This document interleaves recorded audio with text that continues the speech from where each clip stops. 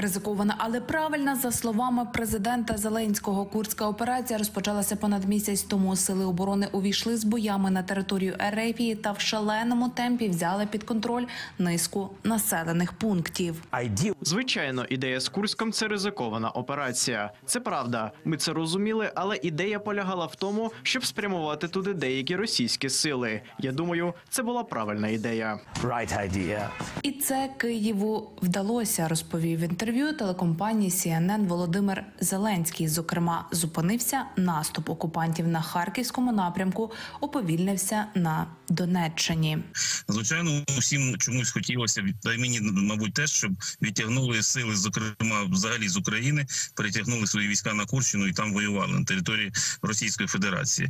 Е, цього не сталося, скажімо так, по максимуму, на який сподівалися, але це відбувається, і треба всім е, скептикам подивитися, з якого напрямку, зокрема з Запорізького, певні підрозділи вже на Курщині воюють з Херсон з Херсонщини, щось знімали е, з Харківського, Вовчанського там напрямку. Не сталося це ще раз кажу масово, можливо, як хотілося, але на Курщині сьогодні зосереджено 35 тисяч як мінімум бойового складу російських військ. А тепер собі уявіть, що ці 35 тисяч могли опинитися. Це угруповання на харківському напрямку, на Запорізькому, на Херсонському, е, на Покровському, тобто на всіх тих напрямках, які сьогодні е, є в Україні на російсько-українському фронті. Але як тільки кремлівські війська перекинули на Курщину, російське командування почало контрнаступ, щоб витіснити ЗСУ із займаних позицій. Аналітики кажуть, ситуація прогнозована. Вони ж зайшли не з того боку. Вони не наступають умовно не з сходу на захід, а вони перекинули через понтонні мости на цей плацдарм, який біля Глушкова Тьоткіна залишався, і б'ють фактично.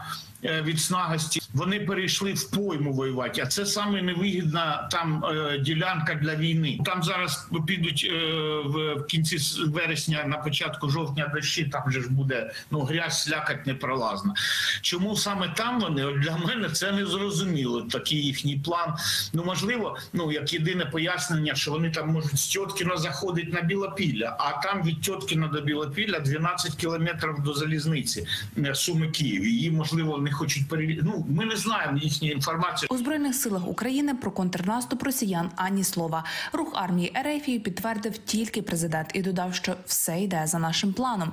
Що це означає, глава держави не пояснив. Україна як держава інформаційно тут на випередження не відіграла, тому що ну, росіяни і до цього там мали занадто великі угрупування. Хіба там контрнаступ росіян е, колись там не колись припинявся? Це по перше. По-друге, ну, з великим рахунком виходить, що принципово, принципово нового нічого не змінилось. Тобто росіяни намагаються контратакувати, підтягувати більше резервів. Ну а наші війська продовжують рухатися вперед з тим самим темпом, який вони мали перші дні операції. Поки окупанти намагаються здійснити контрнаступ та перекидають дедалі більше сил, зокрема досвідчені бригади, сили оборони теж не стоять на місці. В інституті вивчення війни пояснюють, українські війська зайшли ще в один район поблизу Глушково. Тим часом Financial Times пише, що сили оборони вже досягли тактичної перемоги, захопивши понад тисячу квадратних кілометрів російської території. Нині окопуються та захищають фланги. Ситуація там дуже динамічна. Там йдуть важкі бої в різних районах. Десь е, московити намагаються контратакувати, тобто відтісняти нас і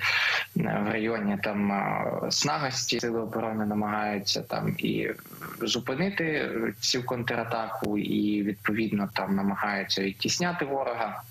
Це все дуже динамічно. Є випадки там, коли московити просто там намагаються десь е, відбити, десь підтягують свої сили. Там постійно працюють дрони, постійно працюють ланцети. Е, Є робота наших сил оборони. Тут не буду вдаватися в деталі, тобто є успіхи, є важка робота, яка от е, направлена на стримування ворога, відновлення позицій. Там отак переходить все з рук руки. Росіянам дуже складно визначити, де знаходяться українські війська- тому що на Курщині немає зрозумілої для росіян лінії бойового зіткнення. Це те, що сьогодні теж треба розуміти. І звичайно, вони намагаються авіаційною компонентою працювати, зносячи ті свої деревні, б'ють по своїй території, намагаючись знайти наші війська. Звичайно, є втрати. На жаль, якби про це прикро не було говорити, мусимо говорити, що це нелегка прогулянка по Курщині. Але досягнення однієї з основних цілей курської операції очевидне повертаються додому українські військовополонені.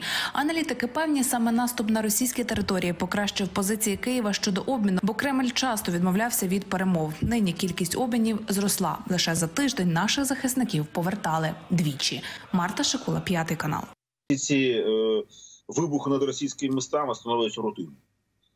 Е, Ну зараз ми бачимо лише от відео, які характеризують, що кудись там повлучало, і пожежі значить, на території міста відбуваються. Ми не знаємо точно, куди були спрямовані ці удари. Цілком можливо, ми дізнаємося інформацію більш конкретну стосовно можливо якихось військових об'єктів або інфраструктурних, які, які були уражені наслідок цієї атаки.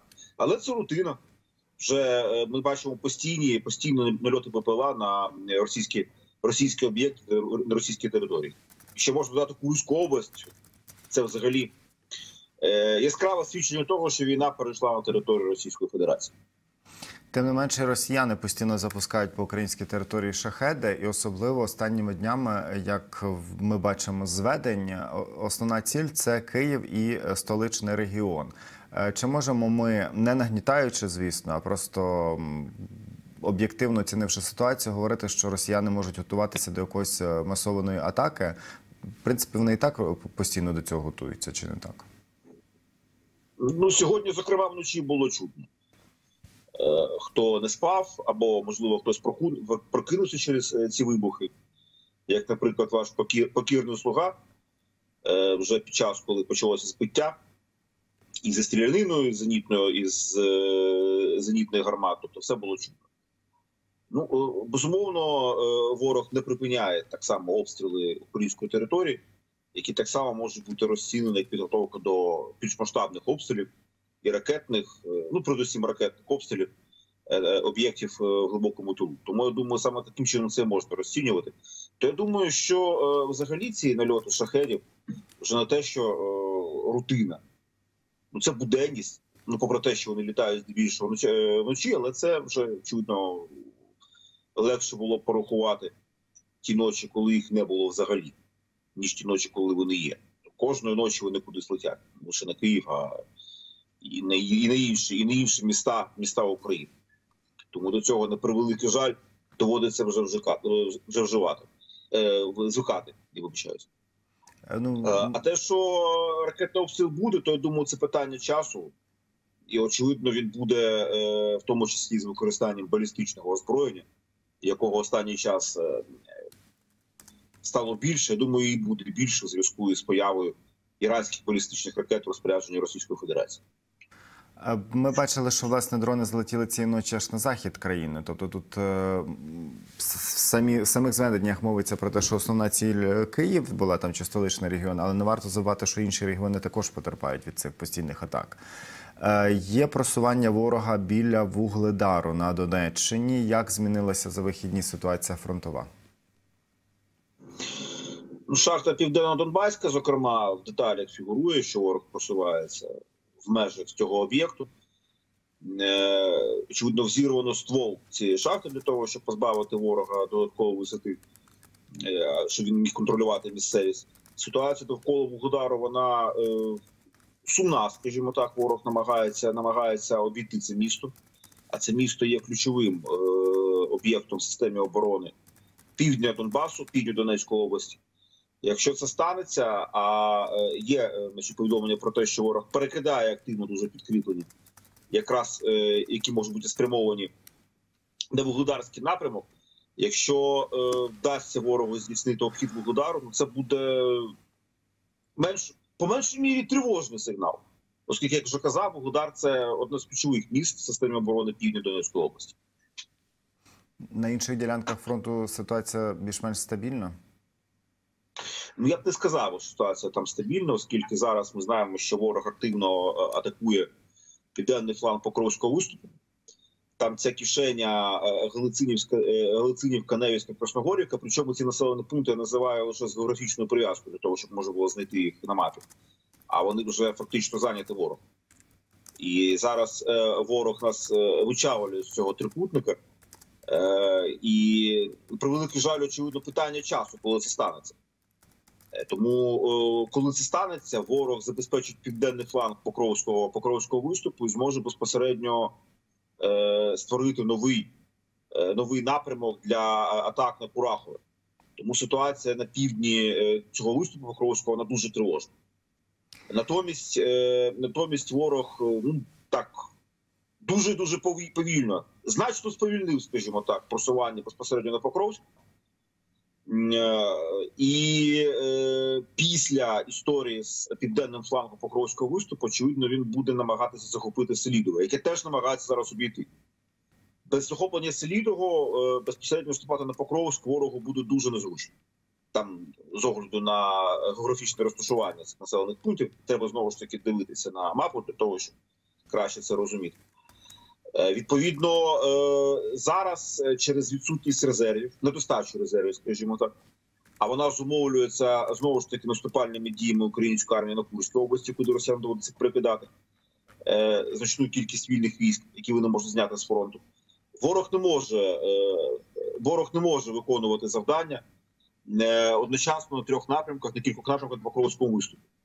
Тому е, е, сказати, що ситуація загалом там е, стабілізовується, ну зараз на превеликий не можна.